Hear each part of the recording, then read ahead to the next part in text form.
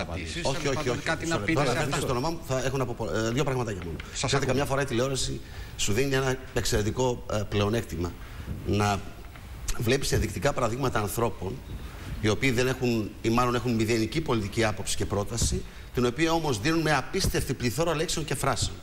Εμείς στη δική μας περιοχή τους λέμε πολιτικούς δενεκέδε αυτούς. Το δεύτερο είναι ακούγοντας παραλυρηματικού λόγους ανθρώπων οι οποίοι εκπροσωπούν θεσμικά υψηλά σημεία ενός κόμματος, να έχεις να πεις μόνο, ξέρεις τι, ο Θεός να σε βοηθήσει. Και ένα τρίτο, επειδή βλέπω ότι υπάρχει και ένα προσωπικό πλέον μένος του κ. Γεωργιάδη, εγώ είμαι στη διάθεσή του όποτε θέλει να μιλήσουμε. Τέλος πάντων, δεν αφορά την κουβέντα μας αυτό. Δείχνουμε Να τώρα, πω- συγγνώμη, Βεβαίως. αλλά είναι απευθείας αυτή η εικόνα που βλέπουμε. Σύνδεση με Ιεροσόλυμα. Έτσι, γιατί είναι